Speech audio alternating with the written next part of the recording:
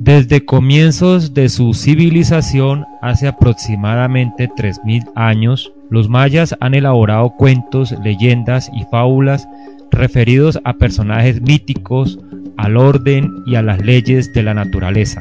Resultado de la experiencia individual y colectiva de un pueblo, así como producto de la imaginación, estos relatos nos ayudan a entender una forma de vida y nos permiten la entrada a una de las más misteriosas culturas de la historia. El relato que aquí presento es hasta donde se sabe de autor anónimo y corresponde a una fecha indeterminada. En cambio son muy precisas su localización, la península de Yucatán en México, y su procedencia maya. Esta fábula se titula La tristeza del maya.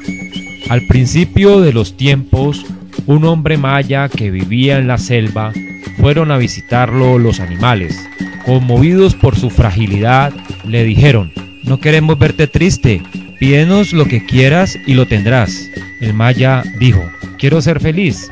La lechuza respondió, ¿quién sabe lo que es la felicidad? Pídenos cosas más humanas.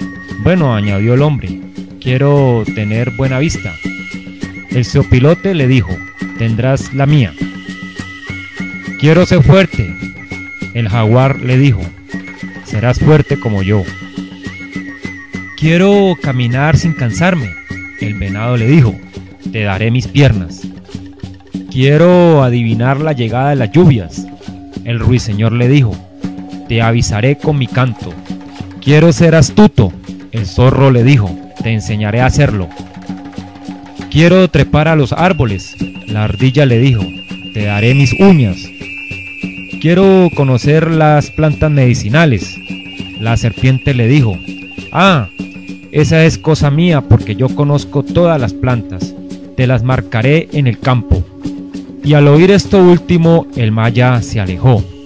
Entonces la lechuza dijo a los animales, el hombre ahora sabe más cosas y puede hacer más cosas y aunque se cumplan eternamente todos sus deseos, siempre estará triste.